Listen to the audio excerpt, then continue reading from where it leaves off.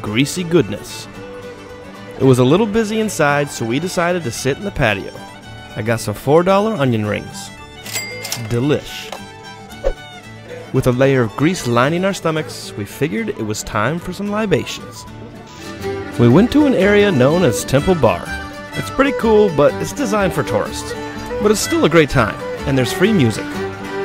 Justin wanted to take us to one of his favorite spots, Fitzsimons Rooftop Bar. And in usual Justin fashion, he bought us a round of drinks.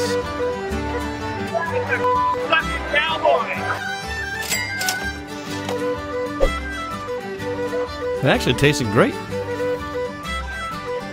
love Fitzsimons! Time to bar hop. Merchant's Arch Barn Restaurant. This place had some awesome architecture. Just make sure not to fall off the edge. Time for a beer. And I know traditional Irish music can get a little cheesy after a while, but it sure is fun to drink to. Is it me or does Justin look like a young George Clooney? I may or may not have told a few girls in the bar that he was his brother, but I don't think they bought it. Next up was the Oliver St. John Gogarty. And I know what you're thinking. We're going to an awful lot of bars. But that's what you do in Ireland. It's a culture of drinking. James Joyce once wrote, A good puzzle would be to cross Dublin without passing a pub.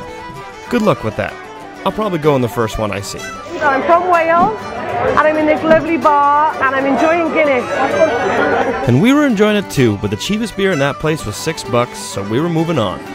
Next up, the George. Either the clientele's really friendly here, or this is a gay bar. Maybe both. In any case, great place to dance. And I can't afford to license the dance hits they play here, so you get to watch them dance to traditional Irish folk music.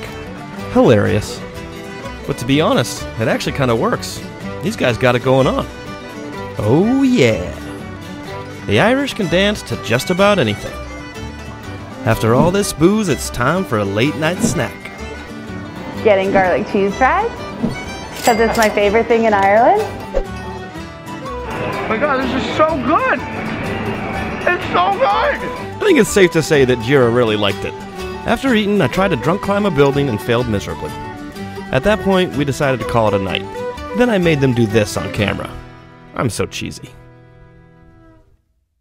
Today we were at the Cliffs of Moher and we really enjoyed it. It was amazing. Now we enjoyed some Guinness. It's a good night, good and nice. Ireland Have a is amazing. Yay! To watch the full episode of Dirt Cheap with Chas Bruns, click the link below.